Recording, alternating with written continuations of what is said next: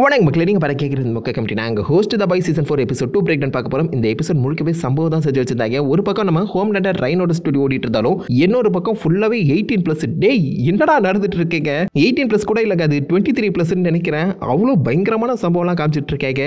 Second எபிசோட்லேயேவா இந்த episode பார்த்தவங்க அந்த சீக்வன்ஸ்லாம் பார்க்கும்போது உங்களுக்கு என்ன தோணுச்சுங்கிறத மறக்க வைக்கல காம பண்ணுங்க. பிரேக் டவுன் ஆரம்பிச்சிருவோமா? ஓப்பனிங் சீக்வன்ஸே ஒரு அன்எக்ஸ்பெக்டட் கேமியோலேருந்து ஆரம்பிச்சது. என்னுடைய ஃபேவரட் வில்ஃபெரல் கேரக்டர் உள்ள இருக்கிறதாங்க இவரையும் சூப்புன்னு சொல்லுவாங்களோ அப்படின்னு சொல்லி பயந்துட்டு அந்த சமயத்தில் இது ஆக்சுவலாக ஒரு படத்தோட ஷூட்டிங் பட் இதில் வர அந்த சீக்வன்ஸ் எக்ஸாக்ட்லி நம்ம ஏ டைனோட இப்போ கரண்ட் சுச்சுவேஷனை ரிஃப்ளெக்ட் பண்ணுற தான் இருக்கு. வில்ஃபெரல் என்ன சொல்வார்னா நீ நல்லா வர வேண்டிய பையன்டா இப்படி கெட்ட சகவாசத்தில் நீ ரொம்ப கேடு கெட்டவனா மாறிட்டு இருக்க அதுலேருந்து வெளில வா அப்படிங்கிற மாதிரி தான் சொல்ல வருவார். அந்த ஒரு சுச்சுவேஷனில் தான் ஏ ட்ரெயினே இருக்காப்ல. ஸோ ஹோம் நேட்டை கூட சேர்ந்து இந்த மாதிரி இன்னசென்ட் மக்களை கொள்றதா இல்லை நான் வந்து நல்லவனாக மாறுறதா? அந்த ஒரு டைலமாவில் வந்து பார்த்தீங்கன்னா நம்ம ஏ ட்ரெயின் இருக்காரு. வில்ஃபெரல் கேட்ட கேள்வி அவருடைய மைண்டை கன்ஃபியூஸ் பண்ண ஆரம்பிச்சிருக்கேன் பத்தாவது வரைக்கும் நாயர் வேற என்னப்பா பேசுறது என்ன செய்யறதுன்னு சொல்லி பேசிக்கிட்டே இருக்கான். டேய் பிளாக் நாயர் வாயை திறக்க மாட்டான். நீ என்னடா பேசிக்கிட்டே இருக்க? அப்படின்னு சொல்லி கேட்க ஆரம்பிச்சிருப்பாங்க. அது பத்தாவது வரைக்கும் ஹோம்லேண்டர் கிட்டே போய் பார்த்தீங்கன்னா அவர் வந்து பேசிட்டு இருப்பாரு பேசுறதை நிறுத்துறான்னு சொல்லி ஹோம்லேண்டரே ஒன் பண்ற அளவுக்கு போயிட்டான் பார்த்தீங்களா முதல்ல இந்த பிளாக் நைட் யாருன்னு நம்மளுக்கு தெரியல பட் எனக்கு என்னமோ அது ஹோம்லேண்டரோட க்ளோனாக இருப்பாரோங்கிற ஒரு டவுட் இருக்க தான் செய்யுது. காமிக்கில் அப்படி தான் இருக்கும் ஸோ அதை ஃபாலோ பண்ணுறாங்களா இல்லையான்னு பொறுத்து வந்து பார்ப்போம். போன எபிசோடில் அடிப்பட்ட நம்ம ஸ்டார்லைட் சப்போர்ட்டரை இப்போதைக்கு நம்ம ஸ்டார்லைட்டே இறங்கி பாதுகாத்துட்டு இருக்காங்க. அந்த சமயத்தில் இது எல்லாத்தையுமே கிளப்பி விட்டது ஸ்டார்லைட் சப்போர்ட்டர்ஸ் தான். அதுலேயும் இந்த ரெண்டு பேர் தான் அந்த ஹோம்லேண்டர் சப்போர்ட்டர்ஸ் மூணு பேரை கொண்டு இருக்காங்க. அப்படிங்கிறத ஓப்பனாக பேசும்போது அது நம்ம ஸ்டார்லைட்டுக்கு கோவத்தை கிளப்புது அவன் அந்த ஸ்டார்லைட் மானிக்கர்லேருந்து வெளில வந்து தான் உட்காந்துருக்கான் பட் திரும்ப நான் ஸ்டார்லைட்டாக புஷ் பண்ணிட்டு இருக்காங்க இவங்க அப்படிங்கிற ஒரு வருத்தம் அவளுக்கு இருக்க தான் செய்யுது. அதுவே இந்த பக்கம் ஹியூவியோட அப்பா வந்து பார்த்தீங்கன்னா கோமாவில் இருப்பாங்க. ஸோ அவனை பார்த்துக்கிட்டு இருக்க அந்த சமயத்தில் அவங்க அம்மாவை திடீர்னு இன்ட்ரடியூஸ் பண்ணிடுவாங்க. ஆறு வயசில் போனால் அவங்க அம்மா இப்போதைக்கு ரிட்டர்ன் ஆகியிருக்கா? அதனால ஹியூவிக்கு ஒரு பக்கம் கோவம் இருந்தாலும் அந்த கோவத்தை அதிகரிக்கிற விதமாக அவங்க அப்பா வந்து பார்த்தீங்கன்னா அவளுடைய மொத்த சொத்துமே அவங்க அம்மா பேரில் தான் எழுதி வச்சுட்டு போயிருக்காங்களாம். ஹியூவி இதனடா கூத்தா இருக்கு? இத்தனை வருஷம் கழிச்சு நீ வருவோம் உன் மேலே சொத்தை எழுதி வச்சிருப்பாங்களா அப்படிங்கிற மாதிரி சம காண்டாயிடுறாப்ல எனக்கு என்னமோ இந்த பக்கம் புச்சர் கணக்கு பெக்க எப்படி ஒரு இலூஷனாக தெரிஞ்சாங்களோ அதே மாதிரி இந்த இடத்துல ஹியூவி கண்ணுக்கு அவங்க அம்மா இலூஷனாக தெரியுறாங்க தோணுது. பட் அந்த பாட்டிலாம் தூக்கி வச்சு பார்க்கும்போது பாசிபிள் இது உண்மையாக இருக்குமோங்கிற ஒரு கேள்வியுமே எழுபதான் செய்யுது. இந்த எபிசோட் நிறைய இடங்களில் ஹியூ வந்து பார்த்தீங்கன்னா தனக்குள்ளே பேசி பார்ப்பல ஸோ பாசிபிள் இது உண்மையாக இருக்கலாம். அப்படி இல்லைன்னா இலூஷனாக இருக்கும் சான்சஸ் இருக்கு. இது உண்மையா இல்லையான்னு சொல்லி உங்க தாத்தா எல்லாத்தையுமே மறக்க வைக்கல காமிங்க கிமிக்கோ வந்து பார்த்தீங்கன்னா இப்போதைக்கு ஒரு சைக்காலஜி ட்ரீட்மெண்ட்டுக்கு வந்து போயிட்டு இருக்கேன் ஏன்னா அவளுடைய பழைய மெமரிஸ் எல்லாமே ரிட்டர்ன் ஆகிட்டு இருக்கு சின்ன வயசில் அவளை குடும்ப பற்றின அந்த தாட் எல்லாமே பார்த்தீங்கன்னா இவளுக்கு திரும்ப திரும்ப வந்துட்டு இருக்கேன் அவளுடைய மொத்த ஃபேமிலியுமே இந்த மாதிரி அடைச்சு டார்ச்சர் பண்ணிட்டு இருந்தாங்க. இந்த மாதிரி ஏகப்பட்ட குழந்தைகளை பார்த்தீங்கன்னா அவங்க டிராஃபிக்கும் பண்ணிட்டு இருந்தாங்க. அதுலேருந்து தப்பிச்சவ தான் கிமிக்கோ அவளால் இந்த மற்றவங்களை காப்பாற்ற முடியலையே. ஸ்டில் அந்த ஆர்கனைசேஷன் ரன் ஆகிட்டு இருக்கு என்னால் ஒன்றும் பண்ண முடியலைங்கிற ஒரு வருத்தம் இப்போதைக்கு கிமிகோவுக்கு ஒரு சைக்காலஜிக்கல் ட்ராமாவே இருக்குன்னு சொல்லலாம். அதுக்கு பாவம் ட்ரீட்மெண்ட் போயிட்டு இருக்கேன் அதே மாதிரி புச்சர் வந்து ஆறு மாதத்தில் செத்து போயிடுவான் அப்படிங்கிற ஒரு உண்மை இப்போதைக்கு அந்த பாய்ஸ் டீமில் இருக்க எல்லாருக்குமே தெரிய வந்துடுது ஹியூவி முகத்தில் பாருங்க ஈ ஆடலை பிகாஸ் அவருமே இந்த பக்கம் டெம்பி எடுத்துட்டு இருக்காப்ல ஸ்டார்லைட்டு அப்போவே நான் சொன்னேன் கேட்டியா? அப்படின்னு சொல்லும்போது புச்சர் வந்து பார்த்தீங்கன்னா நீ சொல்லி நான் ஏன் கேட்கணும் நீ ஒரு சூப் உன்ன மாதிரி நாங்கள் கிடையாது. அப்படின்னு சொல்லி பார்த்தீங்கன்னா எதிர்த்து பேசிடுறாரு இது பிடிக்காம நம்ம மதர்ஸ் மில்க் அந்த பாய்ஸ் டீமோட கரண்ட் லீடர் வந்து பார்த்தீங்கன்னா நீர்மதி டீமில் இருக்க தேவையில்ல. அப்படின்னு சொல்லி புச்சரே வெளில தள்ளிடுறாப்ல அதாவது இந்த பாய்ஸ் டீமை ஃபார்ம் பண்ண புச்சரே பாய்ஸ் டீம்லேருந்து வெளில தள்ளுறாங்க பார்த்தீங்களா கால கொடுமை போயிடுவா அப்படின்னு சொல்லி இந்த பக்கம் நம்ம புச்சர் அங்கேருந்து கிளம்பி போயிடுறாப்ல பட் புச்சரா பாய்ஸ் டீம்லேருந்து பிரிக்க முடியாது ஸோ இப்போதைக்கு அந்த சிஸ்டர் ஸ்டேஜ் அடுத்து எங்கே போக போகிறா அப்படிங்கிற ஒரு இன்ஃபர்மேஷன் மதர்ஸ் மில்க்கு கிடைக்கும். மதர்ஸ் மில்க் கிமிக்கோ ஃப்ரெண்ட்ஸி மூணு பேருமே அந்த இடத்துக்கு போகிறாங்க அதுவே இந்த பக்கம் ஏ ட்ரெயின் தான் டெக்னிக்கலாக அந்த ஹோம்லேண்ட் சப்போர்ட்டர்ஸை கொண்டு வந்து இங்கே போட்டிருப்பான். ஸோ அதனால் அவனை பார்த்து இன்டர்கேட் பண்ணணும்னு சொல்லி ஸ்டார்லைட் அண்ட் ஹியூவே நம்ம ஏ ட்ரெயினை மீட் பண்ண போயிட்டு இருக்காங்க ஒரு பக்கம் இதெல்லாமே நடந்துட்டு இருக்க. இந்த பக்கம் நம்ம ரயனை இப்போ எப்படியாச்சும் ஒரு சூப்பர் ஹீரோவாக மக்கள் மத்தியில் வந்து பார்த்தீங்கன்னா பிரபலப்படுத்தே ஆகணும். ஹோம்லேண்டர் அவனுடைய பையனை எப்படி இன்ட்ரடியூஸ் பண்ணலாம் அப்படின்னு சொல்லி பேசிட்டு இருக்கும்போது வழக்கம் போல தான் ஒரு படத்தில் இன்ட்ரடியூஸ் பண்ணிடலாம் அப்படின்னு சொல்லி ஹோம் பாய்னு சொல்லி அவருடைய பேரை மாற்றி நம்ம ரைனை ஒரு புது சூப்பர் ஹீரோவை இன்ட்ரடியூஸ் பண்ண ட்ரை பண்ணுறாங்க பட் சிஸ்டர் ஸ்டேஜ் வந்து பார்த்தீங்கன்னா இவன் இப்போதைக்கு நேச்சுரலாக பிறந்த ஒரு சூப்பர் ஹீரோ மற்றவங்க எல்லாருமே லேப் ரேட்ஸ் தான். ஸோ என்னதான் இந்த ஹோம்லேண்டருக்கு சோல்ஜர் பாய் அப்பாவாக இருந்தாலும் ஹோம்லேண்டர் ஒரு டெஸ்ட் பேபியாக தான் பிறந்திருப்பாரு. இப்போதைக்கு நேச்சுரலாக பிறந்த ஒரு குழந்தைனா அது கண்டிப்பாக ரயன் தான். ஸோ அவனை இந்த மாதிரி நம்ம நேச்சுரல் சூப்பர் ஹீரோவை தான் இன்ட்ரடியூஸ் பண்ணணும். நேச்சுரல் செட்டப் ஒன்று பண்ணி அதில் இந்த பக்கம் நம்ம ரயனை ஒரு சேவியராக காட்டினா நல்லாயிருக்கும். ஒரு குழந்தைய ஒருத்தன் கடத்திட்டு போகிறான் அவனை தடுக்கிறதுக்காக இந்த பக்கம் ரயன் வரான்னு சொல்லி ஒரு செட்டப் வந்து பார்த்தீங்கன்னா பிளான் பண்ணிட்டு இருக்கேங்க அதில் நம்ம நாயர் அண்ட் டீப் வந்து பார்த்தீங்கன்னா பங்கு பெறுற மாதிரியும் ஹோம் லேண்டர் இன்ட்ரோவே ஆகாத மாதிரியும் திட்டம் போட்டிருக்காங்க. ஸோ ஹோம் லேண்டருக்கு அது சுத்தமாக பிடிக்கல. என்னவா இருந்தாலும் அவன் என் பையன் நான் தான் கடவுள் மாதிரி தெரியணும். மற்றவன் கண்ணுக்கு நான் தான் சேவையாக இருக்கணுங்கிற ஒரு செல்ஃபிஷ் தாட் எப்போதுமே ஹோம் லேண்டர் கிட்டே இருக்க தான் செய்து எப்போதுமே நான் தான் இருக்கணும் அப்படிங்கிற ஒரு கர்வம் ஹோம் லேண்டர் மைண்டில் ஓடிக்கிட்டே இருக்கு. அந்த இடத்த இந்த ரயன் பிடிச்சிருவானோ அப்படிங்கிற ஒரு பயமும் அவருக்கு வருது. பிகாஸ் இப்போதைக்கு ஹோம் லேண்டருக்கு வயசு ஆகிட்டு இருக்கல என் பையன் என் இடத்துக்கு வந்துடுவானு சொல்லி பையன் மேலேயே ஆக்சுவலாக ஹோம்லேட்டை பொறாமப்படுறாரு எரியிற நெருப்பில் எண்ணெய் ஊற்றுறதமா இந்த பக்கம் நம்ம எப்படி அந்த சேவிங்கை பண்ணணும்னு சொல்லி எல்லாருமே ஒத்திக்க பார்த்துட்டு இருக்கும்போது பின்னாடி இருந்து ரெண்டு பேர் நல்ல வேலைப்பா ஹோம்லேண்டர் இன்வால்வ் ஆகலை. ரயன் மூஞ்சி பாரு எவ்வளோ பளபளன்னு இருக்கு. ஹோம்லேண்டர் முகத்தில் நிறைய சுருக்கங்கள்லாம் விழுந்துருச்சு. போன டான் ஆஃப் த சன் படத்தில் இவருடைய இந்த சுருக்கங்களை எடுக்கிறதுக்கே நைன் மில்லியன் டாலர் செலவு பண்ண வேண்டியதாயிடுச்சு. இனிமேல் அப்படி இருக்காதுன்னு நினைக்கிறேன் அப்படின்னு சொல்லி பேசிட்டு இருக்காங்க. ஹோம்லேண்டருக்கு அப்போ தான் புரியுது நம்மளுக்கு வயசாகிட்டு இருக்கான்னு சொல்லி பார்த்தீங்கன்னா செம்ம காண்டாயிடுறாரு. ரயன் மேலேயே ஈகோ கோவப்படுற மாதிரி இந்த பக்கம் நம்ம ஹோம் லெட்டர் கதை எழுதியிருக்காங்க. நல்லா இருக்குங்க. இதுலேருந்தே புரியணும்னு நினைக்கிறேன். ஹோம்லேண்டர் நம்ம சோல்ஜர் பை சொன்ன மாதிரி ஒரு மேன் சைல்டு தான். பார்க்க தான் பெரிய பையனா செம்ம பவர்ஃபுல்லாக இந்த மாதிரி செம்ம ஸ்ட்ராங்கான கேரக்டர் மாதிரி தெரிச்சாலும் மனதளவில் மெச்சூரிட்டியே கிடையாதுங்க அந்த பையலுக்கு. அந்த பக்கம் இந்த சிஸ்டர் ஸ்டேஜை ஃபாலோ பண்ணிட்டு வந்த நம்ம மதர்ஸ் மில்க் ஃப்ரெண்ட்ஸ் அண்ட் கிமிக்கோக்கு முன்னாடியே அந்த இடத்துல நம்ம புச்சர் வந்து பார்த்தீங்கன்னா என்னப்பா எவ்வளோ லேட்டாக வரீங்க? சாப்பிட்றீங்களா? அப்படின்னு சொல்லி வெயிட் பண்ணிட்டு இருக்காப்புல மதர்ஸ் மில்க்கு காண்டாயிடுது. தக்காளி நீ யாரா பப்ளிக் இடத்துல நான் வரக்கூடாதுன்னு சொல்கிறதுக்கு நான் வருவேன். அப்படின்னு சொல்லி புச்சர் வந்து பார்த்தீங்கன்னா கெத்தா இப்போதைக்கு அந்த சிஸ்டர் ஸ்டேஜ் அட்டன் பண்ணக்கூடிய த்ரூத் கானுக்கு வந்திருக்காங்க. த்ரூத் கானுங்கிறது இப்போ ரியல் லைஃப்பில் நடக்கிற காமிக் கான் தான். எல்லாரும் எப்படி காமிக்ஸை பற்றி பேசுவாங்களோ அதே மாதிரி த்ரூத் எல்லாருமே இந்த கான்ஸ்பிரசியை பற்றி பேசிட்டு இருக்காங்க.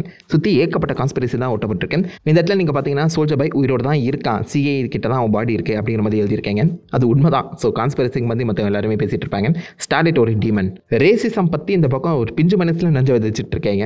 பட் நிறைய தாட்ஸ் நிறைய கான்ஸ்பிரசி சோல்ஜர் பை சுற்றி தான் இருக்குது ஏகப்பட்ட இடத்துல அந்த சோல்ஜர் பை ஃபோட்டோ உங்களால் பார்க்க முடியும். இந்த மாதிரி கான்ஸ்பிரசி பேசிட்டு இருக்க அந்த இடத்துல டிராஃபிக்கிங் பற்றின ஒரு போர்டை பார்த்தோன்னே கிமிக்கோக்கு பார்த்தீங்கன்னா அந்த பழைய மெமரிஸ் எல்லாமே ஸ்ட்ரைக் ஆக ஆரம்பிக்குது.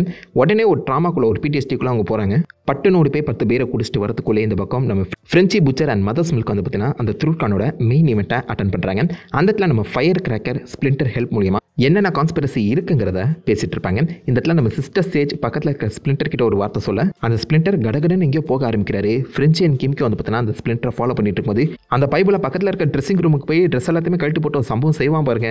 வாழ்க்கையில் மறக்க மாட்டேன்டா. பட் அவன் ஃபோனில் வந்து பார்த்தீங்கன்னா டீப்போட இடத்துக்கு இந்த டைமுக்கு வா அப்படின்னு சொல்லி பார்த்தீங்கன்னா ஒரு சின்ன மெசேஜ் மட்டும் இருக்கேன். ஏதோ சீக்கிரம் மீட்டிங் நடக்கும்போது இன்ஃபர்மேஷன் கிடைக்கும்னு சொல்லி இவங்க எல்லாருமே அங்கே போக ரெடி ஆகிட்டு இருக்காங்க. அதே மாதிரி சிஸ்டர் ஸ்டேஜ் வந்து பார்த்தீங்கன்னா பர்சனலாக ஃபயர் கிராக்கரை பார்த்து உன் பவர் என்னன்னு சொல்லி கேட்க. ஃபயர் கிராக்கரால் பேருக்கு ஏற்ற மாதிரி ஃபயர் மட்டும் கிராக் பண்ண முடியுது. ஒரு பொரிய ஃபயரை மட்டும் அவரால் உருவாக்க முடியுது. இதெல்லாம் ஒரு பவரா அப்படின்னு சொல்லி பேசிட்டு இருக்கும்போதே உன்னுடைய பர்பஸ் என்ன அப்படின்னு சொல்லி கேட்குறாங்க பர்பஸ்ங்கிறது ஆப்வியஸாக கான்ஸ்பிரசியை பரப்புறது தான். ஸோ அதை பேஸ் பண்ணி ஏதாவது ஒரு சம்பவம் செய்ய முடியுமான்னு சொல்லி சிஸ்டர் சேச்சு திரும்பவும் டீப்போட் அந்த இடத்துல உன்னை நான் இந்த டைமில் மீட் பண்ணுறேன் அப்படிங்கிற மாதிரி சொல்லும்போது இது எல்லாத்தையுமே நம்ம புச்சர் அண்ட் மதர்ஸ் மில்க் கேட்டுறாங்க. ஸோ புச்சர் வந்து பார்த்தீங்கன்னா உடனே அவனை ஃபாலோ பண்ணலாம் அப்படின்னு சொல்ல மதர்ஸ் மில்க் இல்லை இல்லை நீ இங்கே இரு நீ வந்து சொதப்பி விட்டுருவேன் மற்றதை நானே பார்த்துக்கிறேன் நீ இனிமேல் இந்த டீமில் வரக்கூடாது. அப்படின்னு சொல்லி நம்ம புச்சரை வெளில கொண்டு போய் அடி பொழந்துடுறாரு. பின்ன புச்சர் வாயை வச்சு சும்மா இருந்தால் தானே? பட் இந்த புச்சரோட ஆக்டிங்லாம் வச்சு பார்க்கும்போது எனக்கு என்ன ஒரு பர்ஃபெக்டான ஜானி கேஜா இருப்பாருன்னு தோணுதுங்க. மோட்டல் காம்பேட் டூ படத்தில் இவர் தான் ஆக்சுவலாக ஜானி கேஜா கேஸ் பண்ணியிருக்கீங்க. ஸோ ஃபஸ்ட்டு செட் ஆகாதுன்னு நினச்சேன் பட் ஆக்டிங்லாம் பார்க்கும்போது எனக்கு ரொம்ப பர்ஃபெக்டாக இருப்பாருன்னு தோணுது. பார்ப்போம் படம் பார்த்தே தெரிஞ்சுப்போம். இந்த பக்கம் ஸ்டாலிட் அண்ட் ஹியூவி வந்து பார்த்தீங்கன்னா ஏ டெனை கண்டுபிடிச்சிட்டாங்க ஏ டென் அவங்க அண்ணன் பசங்களுக்கு கதையாக அளந்து விட்டுட்டு ஸோ உண்மையாக நடந்த கதையை அப்படியே மாற்றி திரிச்சு நான் சூப்பர் ஹீரோ அப்படிங்கிற மாதிரி கதை சொல்லிட்டு இருக்கேன். யார் கிட்ட ஏமாத்துற அப்படின்னு சொல்லி அண்ணன் வந்து வீல் சேரில் வந்துட்டு இருப்பாப்ல ஏன்னா போன சீசனில் இந்த பக்கம் ப்ளூ ஹாக் வந்து பார்த்தீங்கன்னா அவங்க அண்ணன் அடிச்சு முதுகு உடச்சிருப்பாரு. ஆஃப்ரிக்கன் அமெரிக்கன்ஸ் மேலே ஒரு ரேசிசம் தன்மையை அந்த சூப்பர் ஹீரோஸ் காட்டிட்டு இருப்பாங்க அந்த ஒரு விஷயம் இவருக்கு சுத்தமாக பிடிக்காது. தன்னை காப்பாற்ற வரேன்னு சொல்லி என் முதுகு உடச்சிட்டாரா கொய்யால உன்னை மாட்டி விட்றேன் அப்படிங்கிற மாதிரி தன் தம்பி செஞ்ச எல்லா தப்பையுமே ஓப்பனாக சொல்ல அவங்க அண்ணன் பசங்களுக்கே தமிழ நம்பிக்கை எல்லாமே போயிடுச்சு. நான் உண்மையிலே கெட்டவன் தானா அப்படிங்கிற ஒரு தாட் வந்து பார்த்தீங்கன்னா ஏடினுக்கு வர ஆரம்பிக்குது. ஸ்டாலிட் வந்து பார்த்தீங்கன்னா அவங்க அண்ணன் பசங்க முன்னாடியே ஸ்டில் ஹோம்லாண்ட் பேச்சு கேட்டு ஏகப்பட்ட இன்னசென்ட் மக்களை நீ கொண்டுருக்க இருக்க அப்படிங்கிற மாதிரி எதிர்த்து கேட்க தான் போயிருப்பாங்க. ஆல்ரெடி அவன் அடிபட்டு விழுந்து கிடக்கிறான். அவங்க அண்ணன் பசங்க முன்னாடி திரும்ப அவனை அசிங்கப்படுத்தக்கூடாதுன்னு சொல்லி ஹியூபி தான் நம்ம ஸ்டார்லைட்டை அமைதியாக வச்சிருப்பாங்க. ஏடெனுக்கு ஆபீஸ் அவங்க ரெண்டு பேரும் அவங்களை கண்காணிச்சிட்டு இருக்க விஷயம் தெரிஞ்சிருக்கேன் நல்ல வேலை இந்த உண்மைகள் எதுவுமே அவன் சொல்லலை அப்படின்னு தெரிஞ்ச உடனே ஏட்டேன் இவங்க ரெண்டு பேருமே பர்சனலாக அந்த பாய்ஸோட ஹெட் குவார்ட்டர்ஸில் மீட் பண்ணி இந்த ரெண்டு ஸ்டார்லைட் சப்போர்ட்டர்ஸ் தான் ஹோம்லேண்ட் டீமேட்ஸ் போட்டு தந்தாங்க அப்படிங்கிற மாதிரி ஒரு பேச்சு ஓடிட்டு இருக்கலாம். அதுக்கான கேஸ் நடத்திட்டு இருக்கலாம். அதுக்கு எவிடன்ஸாக இவங்க ரெண்டு பேரும் அந்த சம்பவம் நடந்த இடத்துல இருந்து கிட்டத்தட்ட ஒரு மைல் ஒரு கிலோமீட்டர் தள்ளி இருந்தாங்க. அதுக்கான எவிடன்ஸ் ஃபுட்டேஜ் தான் அது. இதை வச்சு அவங்கள வெளில கொண்டு வந்துருங்க. உங்க மேலே இருக்க பழியை நீக்கிக்கோங்க அப்படிங்கிற மாதிரி சொல்ல இவையே நம்மளுக்கு திடீர்னு உதவி செய்கிறான் அப்படிங்கிற டவுட் வந்து பார்த்தீங்கன்னா ஹியூஎன் ஸ்டாலிட்டுக்கு வரதான் செய்யுது சொல்ல முடியாது. ஏ ட்ரெயினும் பாசிபிளி ஃபியூச்சரில் அந்த பாய்ஸ் டீமில் ஒன்றா சேர்த்துக்கான வாய்ப்புகள் அதிகம். அண்ட் ஏ ட்ரெயினுக்கு புது ஹார்ட் கிடச்சிருக்கு அந்த செமிட்டில் அவரால் எவ்வளோ வேகத்தில் வச்சு ஓடவும் முடியும். இதை யூஸ் பண்ணி ஸ்டார்லைட் சப்போர்ட்டர்ஸை ஸ்டார்லைட் வெளில கொண்டு வந்துடுறாங்க. அண்ட் மக்களுக்கு ஸ்டார்லைட்டுங்கிற ஒரு பிராண்ட் தேவைப்படுது. நான் அதை வேணாம்னு சொன்னாலும் அந்த பிராண்ட் என்னை அக்செப்ட் பண்ணியிருக்க அந்த காரணத்தினால வர வழியில் நான் திரும்பவும் ஸ்டார்லைட்டாக ரிட்டர்ன் ஆகிறேன் அப்படிங்கிற மாதிரி ஓப்பனாகவே அறிக்கை கொடுத்துட்றாங்க. ஸோ இப்போதைக்கு ஹோம்லேண்ட் வர்சஸ் ஸ்டார்லைட்டுங்கிற ஒரு மிகப்பெரிய பட்டாளமே உருவாகி இருக்குன்னு சொல்லலாம். அந்த பக்கம் ஹோம் நட் என்ன பண்ணிட்டு இருப்பாரு? ஆப்வியஸாக அவங்க ஒத்திக்க பார்த்த மாதிரி நம்ம ரயனை பேஸ் பண்ணி ஒரு சேவிங் ஸ்ட்ராட்டஜி வந்து பார்த்தீங்கன்னா அவங்க பிளான் பண்ணிட்டு இருக்காங்க மக்கள் மத்தியில் அந்த சேவிங் ட்ராமா போயிட்டு இருக்கும்போது ரயன் ப்ராக்டிஸ் பண்ண மாதிரியே தக்காளி நான் தான் புது super hero I am Ryan அப்படின்னு சொல்ல வரத்துக்குள்ளேயே ஹோம்நாட்டை இறங்கி அவன் புது சூப்பர் ஹீரோ தான் ஆனால் என் பையன் அப்படிங்கிற மாதிரி பேச ஆரம்பிச்சிட்டாரு. மக்களோட அந்த பார்வை எல்லாமே இப்போதைக்கு ஹோம்லேண்ட் பக்கம் திருவிடுச்சு.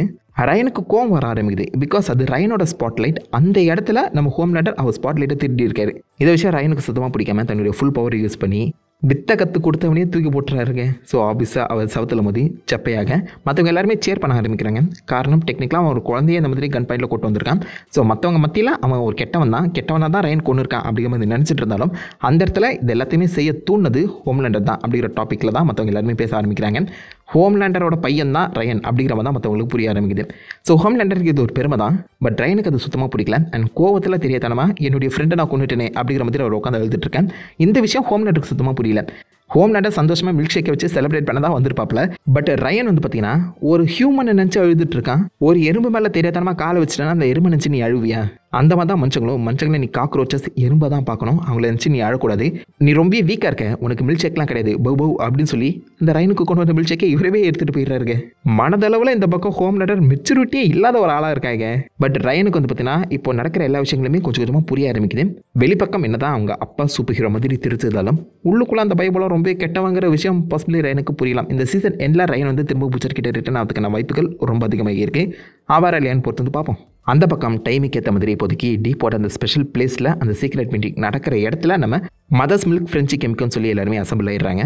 பட் ஆப்வியஸ்லி இது வந்து நம்ம சிஸ்டர் சேஜ் பிளான் பண்ணிட்டேன் நம்ம ஃபயர் கிராக்கர் ஸ்ப்ளிண்டரோட டூப்ளிகேட்ஸ் மூலியமாக இப்போதைக்கு மொத்த பேருமே சுற்றி வளைக்க இந்த பாய்ஸ் டீம் பக்காவாக மாட்டிக்கிட்டாங்க. இவங்களை நீ போட்டு தள்ளிட்டனா உன்னை நான் செவன்டி ப்ளோ நான் சேர்த்துக்கிறேன் அப்படிங்கிற மாதிரி சேஜ் ஃபயர் கிராக்கருக்கு ஒரு சின்ன இன்ஃபர்மேஷன் கொடுத்துட்டு போக அவங்களை போட்டு தள்ளுறதுக்கு முன்னாடியே ஆப்வியஸாக பாய்ஸ் டீம் இறங்கி சண்டை போட ஆரம்பிக்கிறாங்க. ஸ்பிளிண்டர் இன்ஸ்டண்ட்டாக ஸ்பிளிட் ஆக ஆரம்பிப்பாப்ல. ஒருத்த மட்டும் தான் பர்ஃபெக்டாக இருப்பான். மற்றவங்க எல்லாருக்குமே பிங்கே இருக்கும். கண் வந்து இன்ஃபெக்ட் ஆகியிருக்கும்.